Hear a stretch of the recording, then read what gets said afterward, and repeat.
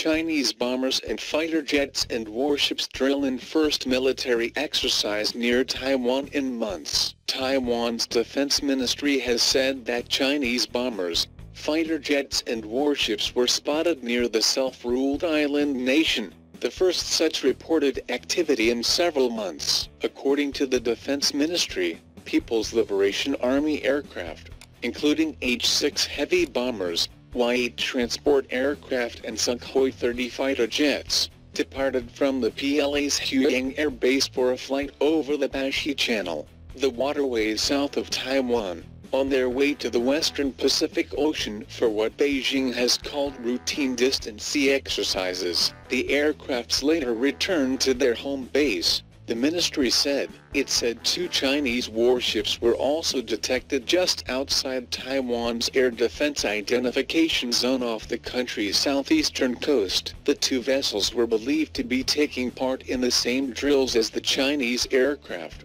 The ministry added, it said it had closely monitored the movements of the Chinese aircraft and ships. Japan beefs up defenses amid concerns over China's military might. Japan will bolster air and sea defenses amid strong concern about growing Chinese air and naval activity in the region. According to newly released defense guidelines, the guidelines, adopted by the cabinet, include plans to adapt to existing helicopter carriers so that they can accommodate fighter jets effectively turning them into aircraft carriers. Under the 10-year plan, Japan will improve the defense of its outlying Pacific islands in response to Chinese military expansion as Tokyo the key ally of U.S. in the Asia-Pacific comes under pressure from the Trump administration to take more responsibility for its own security. Japan will buy 45 F-35 stealth fighters in addition to 42 jets that are already on order.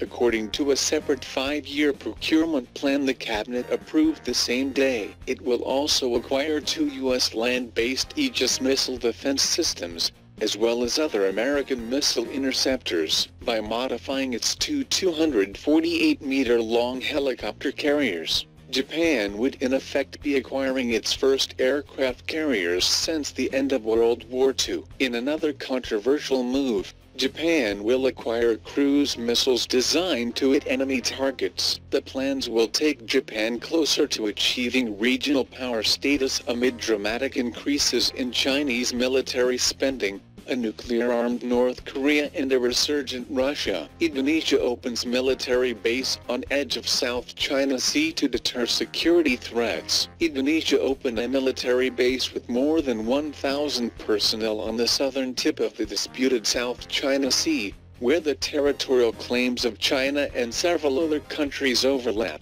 The base, is located in Selat Lampa on Natuna Besar Island part of the Natuna Islands one of the country's outermost areas and more than 200 kilometers off the island of Borneo. Indonesia is not a claimant state in the South China Sea but Jakarta and Beijing have had several maritime skirmishes in the resource-rich area, including one in 2016 when an Indonesian patrol boat seized a 300-ton Chinese fishing vessel. Several hours later, a Chinese Coast Guard vessel rammed the fishing boat, resulting in the Indonesian authorities releasing it. It is not disclosed the exact number of military personnel in the Natuna Islands area, but said the new base is supported by an army battalion companies of Marines and engineers, and artillery. In Indonesia's military, a battalion consists of between 825 and 1,000 personnel, while a company consists of about 100 personnel. The new base also has a hangar for an unmanned aerial vehicle squadron. Thanks for watching. Please like, share, and subscribe. If you like the channel, and want to support, please support on Patreon or PayPal. The details are given below in the description.